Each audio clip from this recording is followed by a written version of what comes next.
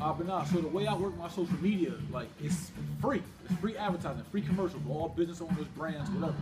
So instead of being cool and trying to just post one post a day, two posts a day, because I'm trying to be preserved, I capitalize on all 24 hours. So I post in the morning before I go to when I wake up, at night before I go to bed. If I wake up in the middle of the night, I post. And all throughout the day, I post because you're reaching different people in different increments. So those people that's up early in the morning working at 6 a.m., you catching those people.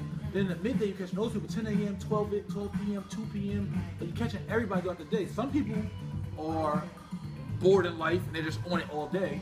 But some of us aren't on it all day. So that person who just checks once a day after work at 5 o'clock, 7 o'clock, you want to be on their timeline. Right. Same with the person that's, mind you, there's different time zones throughout the country, throughout the world.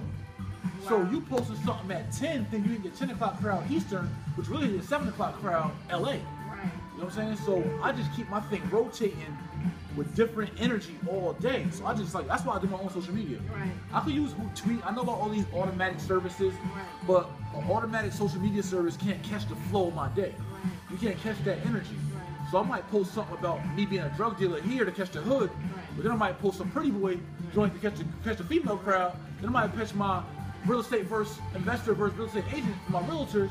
Then I might post a, a Bible scripture for my Christian crowd, and I just keep it just on rotate all day.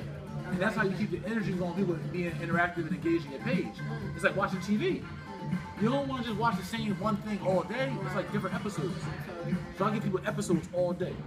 Whether it's day in the life, 15 second sizzles, my videographer constantly rolling out new edits, old footage, or a meme, or whatever.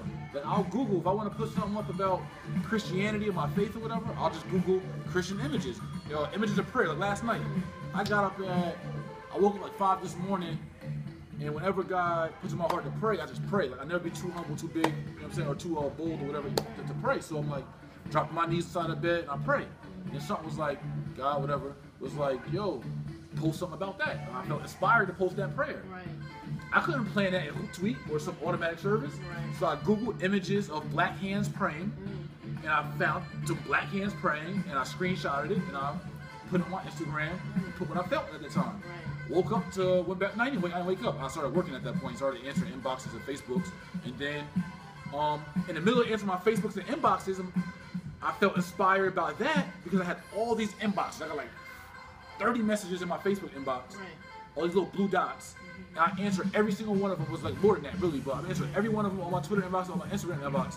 I answered all of them, but before I did, I screenshotted that and was like, "Yo, I'm gonna put up a post when I'm done answering all these. I'm gonna put up a post about how I answer all my, my messages personally." Right. So by the time I got to that post, I already had 300 likes on my prayer post, and they gave you a whole new energy Right. talking about how I respond to my social media Right. and just keep it on rotate. So, Wow. like, that's why you say engage, keep people excited, keep them like want to go to your page, they're not bored on your page. Right. You know I mean? So, like like, that. that's the way it goes. I just that drill though. That's the game, you heard? Yeah, man.